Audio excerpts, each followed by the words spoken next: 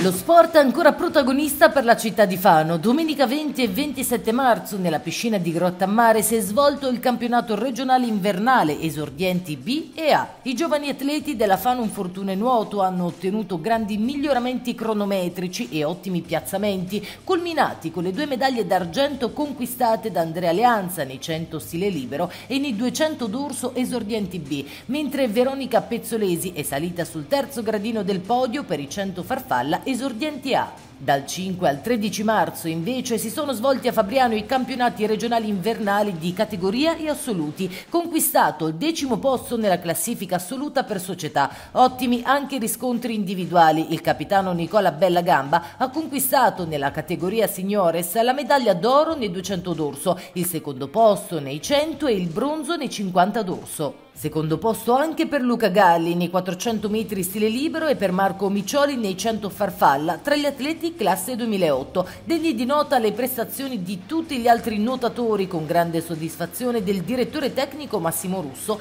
che auspica ulteriori progressi tecnici nei prossimi appuntamenti di gara. I ragazzi hanno gareggiato a livello regionale in eh, diverse categorie e, e riusciti, sono riusciti gli allenatori, no? Roberto Tonelli, Marianna Bertolucci e Marco Ricci per i master, sono riusciti a, a ottenere dei bei risultati dai ragazzi che eh, hanno conquistato diversi podi anche a livello di titoli regionali.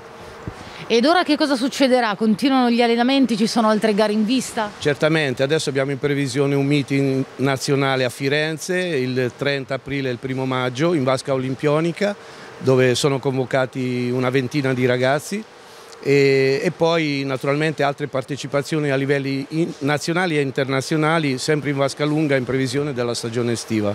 La piscina come sempre rimane aperta e a disposizione per questi allenamenti? Ah, per quanto riguarda gli allenamenti si svolgono regolarmente ma soprattutto stiamo rilevando un flusso di utenza eh, che sta di nuovo crescendo perché abbiamo avuto una fisiologica flessione nel periodo invernale anche dovuto alla pandemia.